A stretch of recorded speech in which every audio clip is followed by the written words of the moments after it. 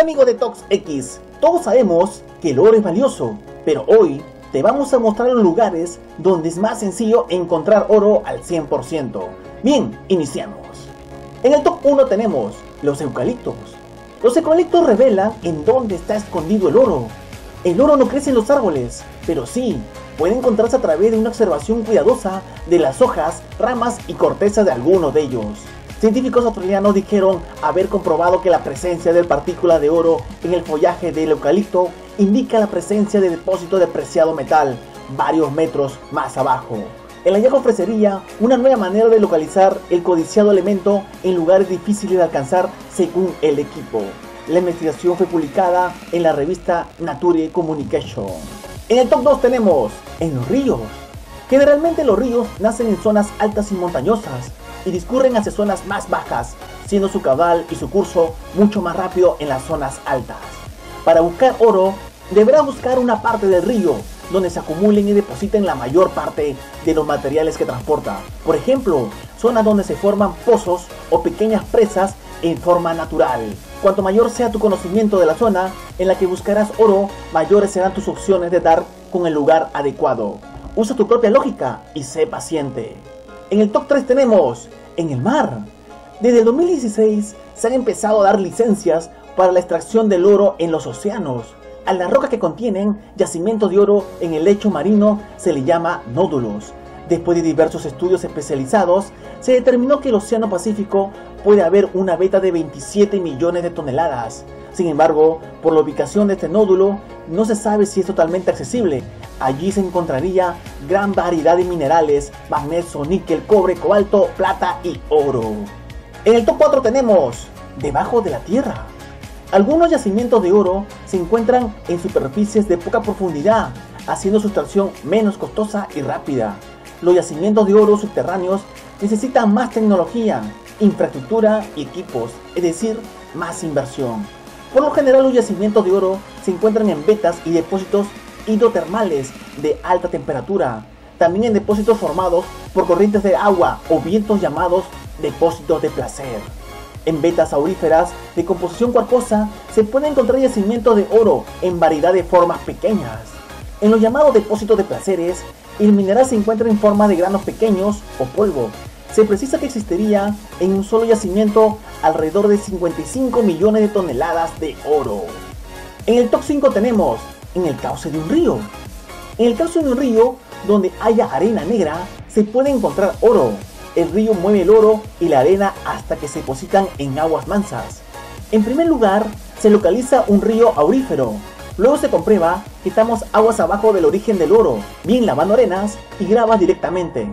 Bien, auxiliándonos de un detector de metales para su localización. Una vez que tenemos la certeza que encontramos aguas abajo del origen aluvial, Ascendemos por el río, realizando ensayos en saltos de varios kilómetros, hasta el momento en que dejemos de encontrar oro. Entonces nos encontramos aguas arriba de la mena. Y esta se encuentra en el tramo entre la última positiva y la primera negativa. En el siguiente paso consiste en ir bajando en el río varios saltos para localizar lo más exactamente posible el punto donde el oro comienza a aportar grandes granos. En el top 6 tenemos oro en las formas geológicas también se obtiene en la forma geológica proveniente de movimientos sísmicos donde en algún momento existieron grandes temperaturas. En las rocas resultantes o formadas por cuarzo o lodo también se consigue oro. Se observó que cuando se encontraban filones de cuarzo, en su interior había oro diseminado. Pulverizando ese cuarzo, nace una nueva forma de extraer oro. Nuevamente, los mencionados filones podrán encontrarse en la superficie o gran profundidad, dando lugar a esta segunda forma de minería de oro, tanto superficial como subterránea. En el top 7 tenemos en las rocas. ¿Podría ser posible que realmente sea oro? Las sustancias tales como la mica y la pirita de hierro, también conocidas como el oro de los tontos, se parece mucho al oro real para el aficionado buscador de oro. Examina la roca a la sombra en vez de la luz del sol. El oro real todavía tiene un brillo color amarillo, incluso bajo la sombra mientras que el oro de los tontos no es así. Si no hay una área asombrada en la vecindad, copa las dos manos, júntalas y métalas en la roca antes de examinarla. Examina la roca a la sombra, en vez de la luz del sol. Trata de cortar la sustancia con un cuchillo para mantequilla. El oro verdadero es maleable y se puede cortar con un cuchillo con relatividad facilidad. El oro de los tontos se descacara y astilla si se intenta cortar. Por otra parte, si tus uñas son lo suficientemente largas, hurga en el área con el borde de ellas. El oro real se abollará por esta acción, pero el oro de los tontos se escamará. En el top 8 tenemos, en las computadoras, las computadoras y los componentes electrónicos contienen mucho oro y otros metales preciosos. Debido a que los precios de los metales preciosos han subido, reciclar estas computadoras viejas y aparatos electrónicos por su alto contenido de oro, plata y platino se ha convertido en un pasatiempo de muchas personas. La búsqueda y recuperación de oro nunca ha sido tan segura y fácil. Esta recuperación del oro de esta CPU es una tendencia que requiere mucha seguridad y conocimiento. Debido a que el oro es un metal precioso no corrosivo que conduce electricidad, se usa en el circuito de la computadora y en casi todos los aparatos electrónicos modernos. La mayoría del oro de las computadoras se sitúa en el chip del CPU. Sin embargo, cada vez que ves una parte del metal dorada dentro de la computadora, es enchapado en oro sobre otro tipo de metal. Muchos chips modernos no están coloreados de dorado por fuera, pero siguen conteniendo mucho oro dentro para conducir la electricidad.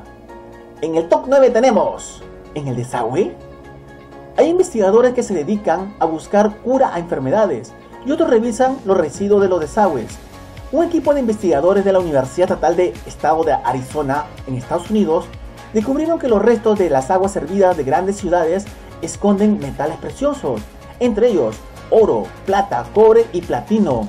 Estos tesoros fueron lo que científicos encontraron cuando comenzaron una investigación de los elementos que se encuentran en las cañerías. Este informe se publicó en la revista científica Environmental Science and Technology.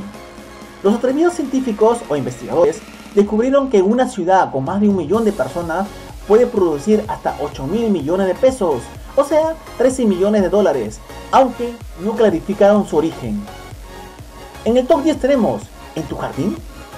Puede ser cierto o no, pero hay casos como por ejemplo de una pareja de California que ha encontrado en su jardín una lata repleta de monedas de oro del siglo XIX, que podría alcanzar un valor de 7.3 millones de euros. La pareja que habría preferido permanecer en el anonimato encontró este tesoro cuando paseaba con su perro en su jardín.